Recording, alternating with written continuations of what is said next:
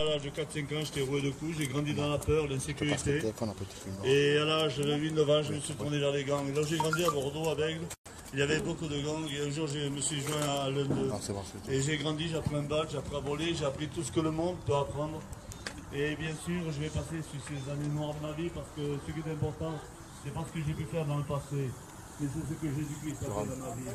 Tu filmes, Et, d'accord Et quand il a fini de témoigner, quand j'ai fini de chanter j'ai- tranquille, tu termines et tu reprends ainsi de suite. Et D'accord. Tu- tu fais pas plus de j'étais quatre minutes. D'accord.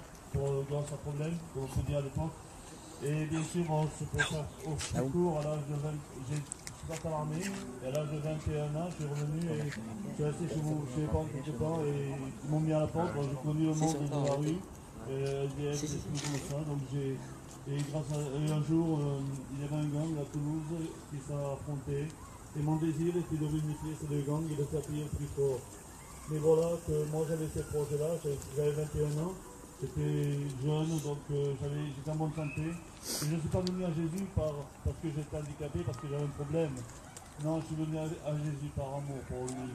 Parce qu'un jour, un jour, alors que j'avais ces projets-là, une femme est venue dans ma vie et m'a témoigné de Jésus-Christ. Mais quand elle a parlé de Dieu, j'étais démonté contre elle. J'ai fait pleurer cette femme qui aurait été de ma mère.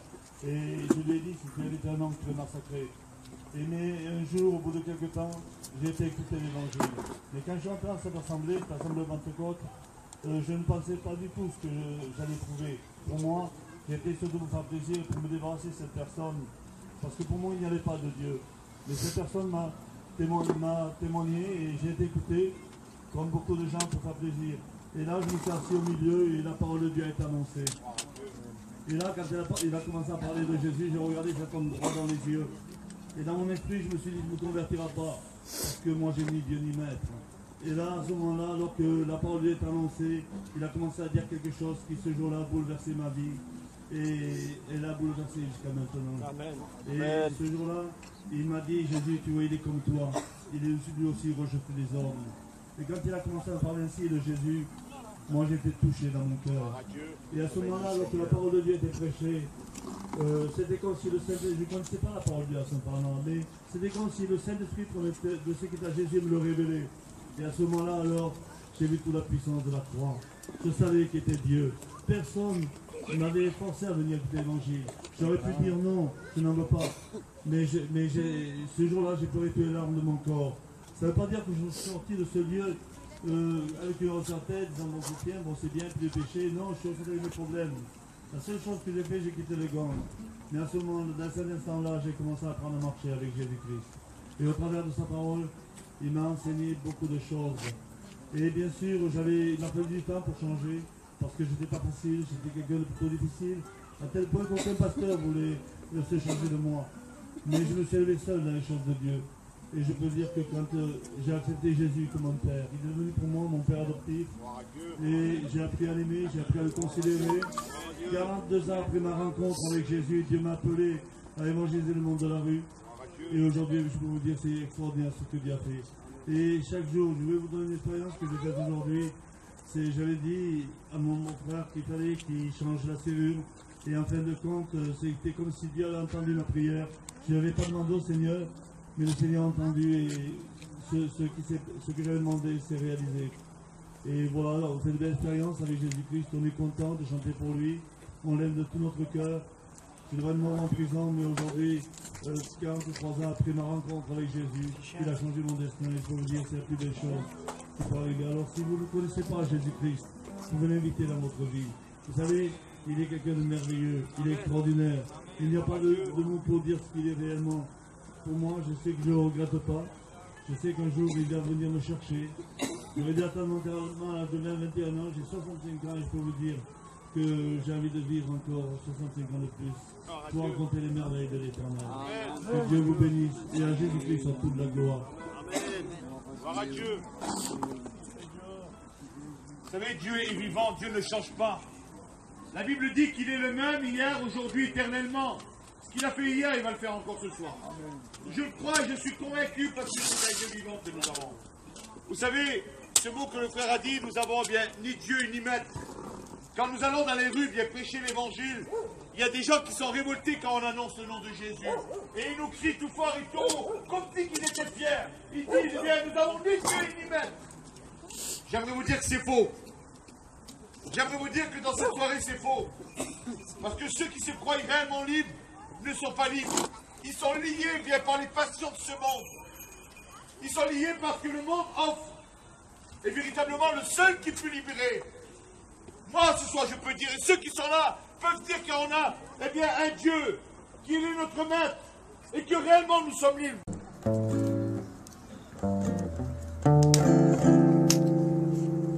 Et quand je pense, le Seigneur y reviendra, et quand je pense à ce que je lui dirai, à présent tu sais Seigneur, que moi je t'aime. Et quand je pense, quand le Seigneur y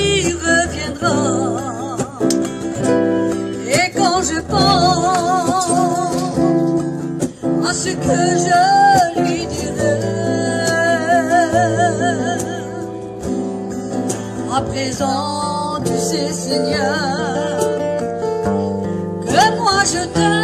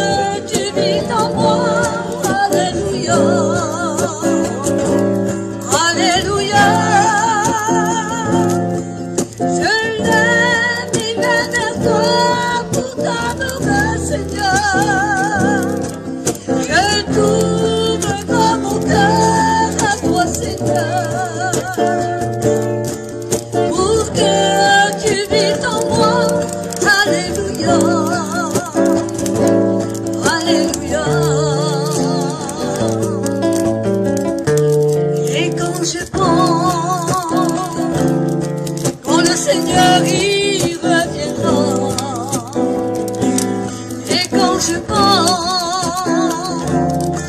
à ce que je lui dirai,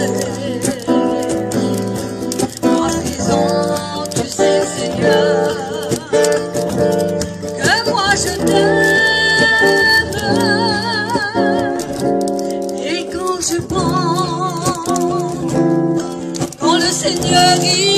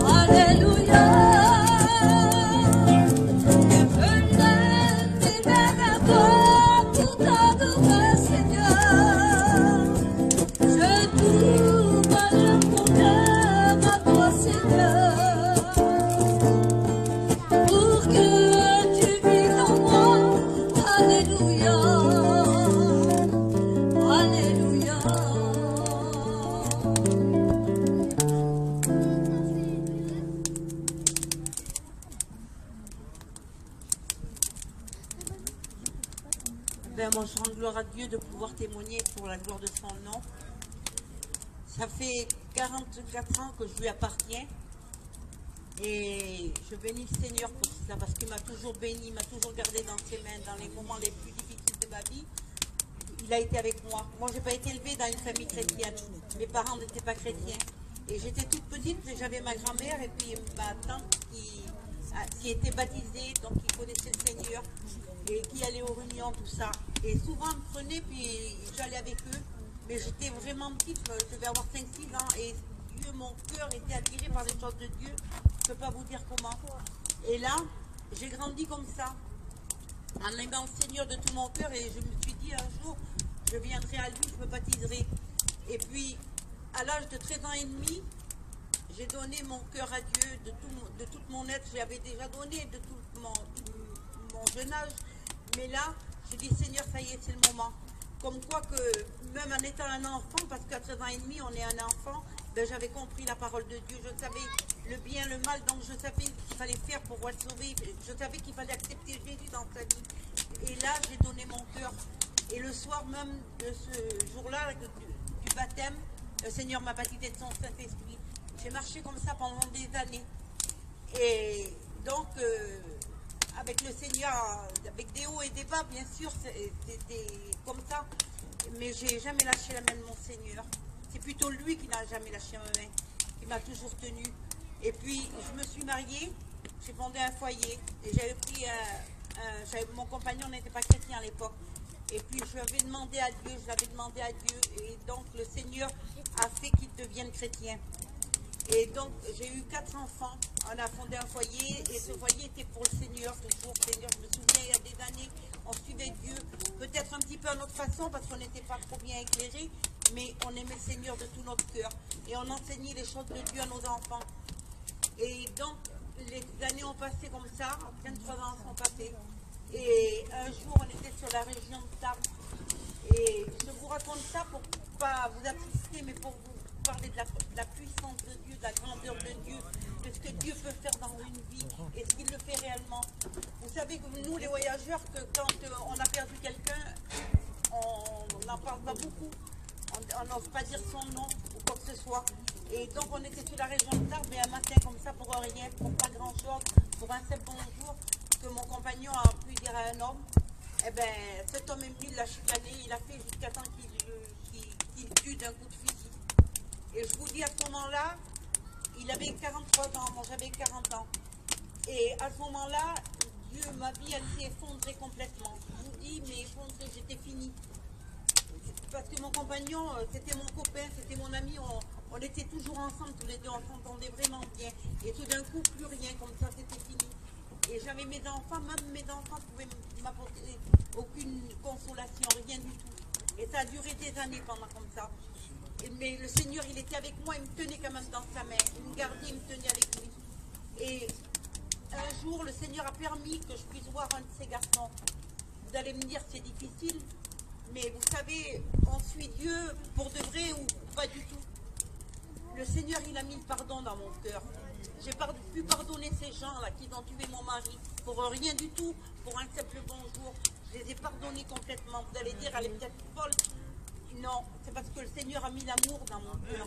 Un jour dans la réunion, j'ai été à Tarbes et là, quand j'ai vu un de ces garçons-là, j'avais peur. En premier, ma fille elle me disait au moins il faudrait que tu voies, euh, il faudrait voir euh, un, de ces garçons ou peut-être quelqu'un de chez eux pour voir si réellement on a le pardon dans le cœur.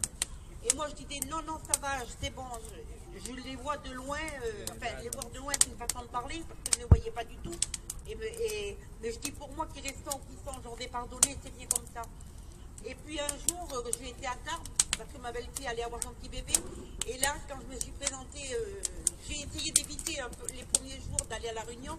Et je dis, Seigneur, je ne peux pas rester un mois comme ça. Je ne peux pas vivre sans aller à la réunion. Et donc, je dis, j'y vais quand même. Donc, le vendredi, j'ai été à la réunion. Et le garçon n'y était pas. Et le dimanche matin, j'étais au culte. Et d'un coup, j'étais assise là comme ça et j'avais la tête baissée, j'avais le cœur qui battait très fort. Parce que je dis, Seigneur, quelle sera ma réaction quand je verrai avec tout ce mal qu'ils nous ont fait Parce qu'on a souffert, mais Seigneur, il était avec nous. Et puis quand euh, j'étais là, j'étais abaissée, c'est comme si quelqu'un prenait ma tête avec une main et me tournait la tête comme ça. Et m'a tourné la tête, mais il était au fond dans la salle. Et là, il y avait des années, des années que j'avais pas, pas vu de garçon. D'ailleurs, je l'ai même pas reconnu, mais je me suis dit, c'est lui. Et j'ai demandé à une femme, j'ai dit, c'est lui? Elle me dit oui. Et à la fin de la réunion, il, est, à ce moment-là, avant la fin de la réunion plutôt, quand je l'ai vu, ce garçon, au lieu de me faire du mal, si vous saviez ce que ça a fait dans mon cœur, une amour, une compassion pour ce garçon incroyable, mais une amour, je peux vous le dire, de l'amour pour ce garçon, je disais Seigneur, c'est pas possible. Et là, de tout mon cœur, de toute mon être, j'ai loué le Seigneur, toi tu dis dans ta parole que lorsque tu nous affranchis, nous sommes réellement libres. Alors aujourd'hui, je dis, je peux le crier, je peux le dire, je suis libre et je suis affranchi par ta grâce. Et le Seigneur m'a béni. Et il n'y a pas de haine, rien du tout dans mon cœur. Que le Seigneur bénisse. Et vous savez, euh, c'est pas des manières, hein, parce qu'on n'est pas là pour faire du cinéma, parce que des- de tels témoignages, on ne pourrait pas les dire si ça ne viendrait pas de Dieu. Mais Seigneur, il peut faire toutes choses. Il m'a consolé de la séparation, il m'a donné le pardon, il m'a béni en toutes choses, il m'a rempli de son esprit. Et je peux vous dire une chose, c'est que lorsque je partirai de cette terre, vous savez, j'ai pas grand-chose. Eh, j'ai comme beaucoup d'entre nous, un petit camion, un petit camping, voilà. Donc aucun héritage. Quand je partirai, je ne pourrai rien laisser à mes enfants. Parce que j'ai rien, j'ai pas d'argent. Mais ce que je leur ai laissé, c'est l'héritage du Seigneur. Parce que je leur ai toujours appris à marcher avec le Seigneur, avec mon compagnon. On leur a toujours appris. Et je bénis l'éternel, vous savez pourquoi? Parce qu'aujourd'hui, j'ai deux serviteurs qui servent Dieu. Et je bénis l'éternel de toute mon aide, de toute mon âme. Parce que le plus grand des trésors que j'aurais pu leur laisser, eh ben, ça n'aurait rien apporté à côté de ce qu'on a pu leur laisser en héritage aujourd'hui. Et eux le transmettent aussi à mes petits-enfants. Et je bénis le Seigneur parce que mes petits-enfants se donnent à Dieu aussi. Et, je bénis le Seigneur de lui appartenir. Il n'y a pas de mots, il n'y a pas de mots pour vous expliquer ce que c'est que d'être à Jésus. Vous savez, on peut être seul, on peut être dans la solitude, mais quand le Seigneur est avec nous, alors là, je peux vous dire que le Seigneur, ben, il remplit nos cœurs. Dans les moments les plus difficiles, les plus durs, il est là. On a toujours quelqu'un à qui se confier. C'est notre ami, c'est notre père, c'est notre frère. Il est tout pour nous. Que Dieu vous bénisse à chacun. Et celui qui- n'a pas fait d'expérience, on le dit toujours ça. Mais Seigneur, essayez de le faire. Quel que soit votre problème, votre difficulté, vous savez, ben, il peut vraiment bénir vos cœurs et vos âmes. Il peut vraiment vous bénir de toutes choses. Que Dieu vous bénisse à tous. Amen. Oh, Dieu. Vous savez, il y a un film qui est sorti là. Et le titre du film, c'est Dieu n'est pas mort. Et j'aimerais vous dire ce soir, il est vivant. Il agit dans les cœurs avec puissance, avec amour. Il suffit de l'invoquer, invoque-moi. Je te répondrai. J'aimerais que tous les garçons viennent, tous les frères qui veulent venir chanter, chanter le dernier cantique. Il y a puissance dans le nom de Jésus. Oui, la puissance alliée dans le nom de Jésus. Dieu est capable de renverser les murs dans ta vie. Il est capable de renverser la situation que tu vis à l'heure actuelle. Peut-être y a un hit sur ta vie. J'aimerais te dire une chose, que le Christ, là ce soir, il est capable d'agir. Parce que toi, tu es capable de l'invoquer. Des aveugles ont invoqué Jésus. Des malades, des lépreux ont invoqué Jésus. Jésus s'est approché et les a bénis. Je te le dis en vérité, invoque Jésus, Jésus va te bénir. J'aimerais que tous les garçons viennent, tous ceux qui veulent chanter, Batchoul, tous. On va chanter ce, ce cantique qui dit il y a puissance dans le nom de Jésus. Tous les frères, même mes frères serviteurs, Mario, venez les garçons. Tous ceux qui veulent chanter.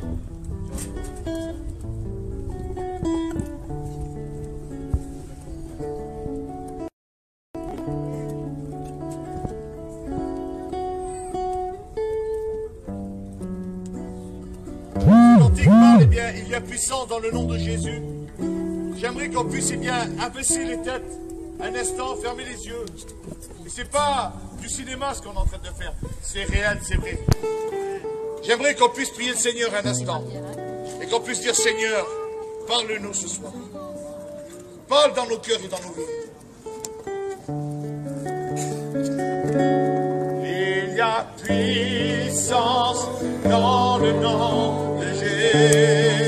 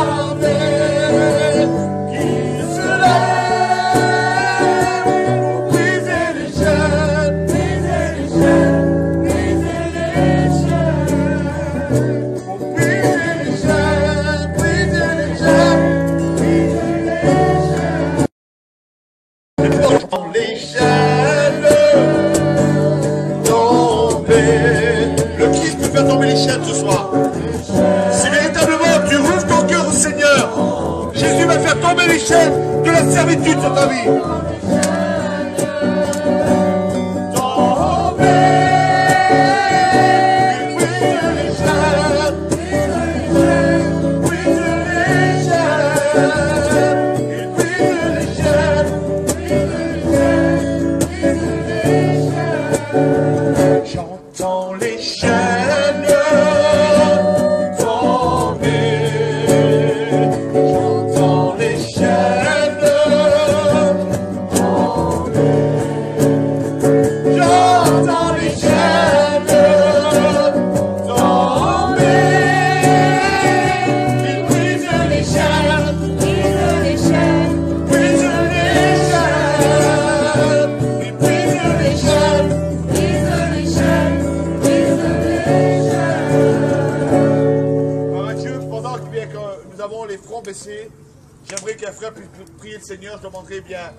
je demanderai à, Stallone et à Pachou qui puissent prier le Seigneur. Seigneur, nous voulons louer et bénir ton nom, dire merci dans cette soirée, parce que tu es présent parmi nous, Seigneur Jésus, parce que tu veux bénir nos cœurs, Seigneur. Ton désir, c'est que nous soyons sauvés, Seigneur Jésus, parce que tu es le chemin, la vérité et la vie. Dieu ne vient au Père que par toi, Seigneur Jésus. Seigneur, bénis celui qui a besoin de ta grâce dans cette soirée, Seigneur, qu'il puisse te rencontrer, Seigneur. Bénis, Seigneur Jésus, ces gens qui ont besoin de ta grâce sur cette place, Seigneur. Oui, Seigneur, bénis ton serviteur qui prêchera ta parole. Ouais, de ton Esprit Saint, Seigneur. Oui, bénis, agis puissamment parmi nous, Seigneur. Parle à nos cœurs, Seigneur. Amen. Oui, nous voulons te louer, te bénir, te rendre grâce, te dire merci, Seigneur. Nous dis dans ta parole qu'il y a un temps pour tout, Seigneur. Et nous voulons prendre ce temps à écouter ta parole. Nous voulons le prendre parce que c'est une parole qui change des vies, qui change des caractères, qui change toutes choses, Seigneur. Veuille le loin d'Achavo, Seigneur. Bénis-le. Seigneur, que ton serviteur soit rempli d'esprit et que ta parole, Seigneur, puisse percuter les cœurs, notre Dieu. À toi revient toute la gloire. Dans le nom précieux de. Amen. Gloire à Dieu. Amen. Que Dieu soit loué et que Dieu soit béni ce soir. Pour l'occasion que nous avons encore une fois de plus, qu'il nous donne encore une fois de plus, de nous réunir ensemble. Quel bonheur. Je disais aux frères, quelle beauté la réunion. Comment qu'on est bien.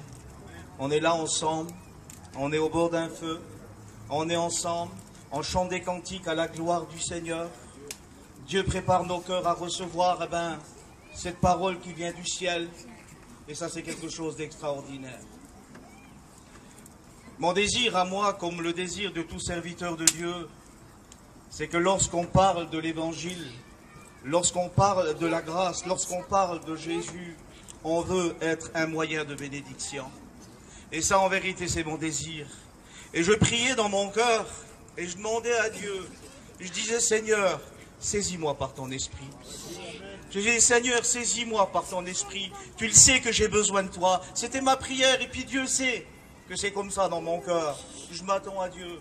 Et c'est pour cela que je voudrais être saisi par le Saint-Esprit, en seul fin que la parole de Dieu ce soir puisse agir, que la parole de Dieu ce soir puisse percuter les cœurs, que la parole de Dieu ce soir donne en réalité à prendre des décisions nouvelles pour Jésus. Ça, c'est la parole de Dieu. Que son nom soit béni et que son saint nom soit glorifié. Il est dit dans la parole de Dieu que toute écriture, oui, toute écriture est inspirée de Dieu. La Bible dit que la parole de Dieu est utile. Elle est utile pour enseigner. Elle est utile pour corriger. La parole de Dieu est utile pour reprendre? Est-ce que vous le croyez cela J'aimerais vous dire, Alléluia, que nous le croyons de tout notre cœur, que la parole est utile pour conseiller, pour reprendre et pour corriger? Je ne sais pas comment tu es là ce soir. Dans quel état tu es? Quelle demande attends-tu? Mais à travers la parole de Dieu, le Seigneur est celui qui peut te parler. Par le moyen de l'Esprit, parce que la parole de Dieu est utile. Quelque chose d'utile, on est là et puis on se sert avec. Pourquoi? Parce que ben, c'est utile, on en prend soin, on tient à cela. Et la parole de Dieu est utile, alors il faut la serrer dans son cœur. Il faut vivre la parole de Dieu. Il faut proclamer la parole de Dieu. Oui, la parole de Dieu, alléluia, est utile. Toute écriture est inspirée de Dieu. Quelle beauté. Et la Bible dit ces mots. Écoutez. C'est poussé par le Saint-Esprit, dit la Bible. C'est poussé par le Saint-Esprit que des hommes ont parlé de la part de Dieu. Et ça, c'est merveilleux. Ça, c'est glorieux. Ça, c'est extraordinaire de savoir et de réaliser que nous sommes là, nous serviteurs de Dieu, et que nous parlons de la part de Dieu. Oui, c'est poussé par le Saint-Esprit que des hommes ont parlé de la part de Dieu. David va dire ces paroles, l'homme de Dieu, l'homme selon le cœur de Dieu, il va dire ces paroles, lui. Il va dire, l'Esprit de l'Éternel. Il dit, l'Esprit de l'Éternel parle par moi. Et sa parole est sur mes lèvres. Alléluia. Quelle assurance qu'il avait cet homme. Quelle certitude qu'il avait. Il savait, alléluia, en qui il avait cru. Comme nous aujourd'hui, serviteurs de Dieu, nous savons en qui nous avons cru. Et nous ne sommes pas là pour parler de nous-mêmes, mais nous sommes là pour parler du Créateur. Nous sommes là pour parler de celui qui un jour est venu jusqu'à nous. Nous sommes là pour parler de celui qui un jour eh ben, est venu dans nos cœurs et puis il, ben, il a bouleversé notre vie. Oui, l'Esprit de l'Éternel parle par moi et sa parole est sur mes lèvres. Quand on lit la Bible, on voit toute la puissance, alléluia, et l'autorité de Dieu. Quand on ouvre les évangiles, quand on regarde la parole de Dieu, on voit toute la puissance et l'autorité de Dieu. Il ne peut, écoutez, il ne peut avoir de l'autorité sans qu'il y ait, alléluia, celui qui donne l'autorité. Et celui qui donne l'autorité, on l'appelle Jésus-Christ, alléluia. C'est lui qui inspire la parole de Dieu par le moyen de l'Esprit.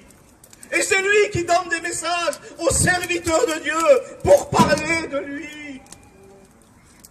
Et nous sommes devant lui ce soir. Et ses regards sont fixés sur chacun d'entre nous. Il connaît ta vie, il connaît ton état. Il connaît ta position, on ne peut rien cacher devant lui. Vous savez, on peut paraître ce que nous ne sommes pas, mais en réalité, dans notre cœur, on sait ce que nous sommes. Et ce soir, tu sais ce que tu es, et tu sais ce que tu vaux par rapport à Dieu. Mais le Seigneur est là ce soir et à travers sa parole, il est celui qui te parle, car il veut agir, il veut bénir, et il veut te sauver. Oui, on voit toute l'autorité et la puissance de Dieu par sa parole, alléluia, créatrice. Dans le psaume 19 au verset 2, il est dit ces paroles. Écoutez, les cieux racontent la gloire de Dieu et l'étendue manifeste l'œuvre de ses mains. Quelle beauté de savoir que la Bible nous dit, alléluia, que les cieux racontent la gloire de Dieu et l'étendue manifeste l'œuvre de ses mains. Il nous suffit en vérité de regarder, il nous suffit en vérité de contempler les merveilles de la création.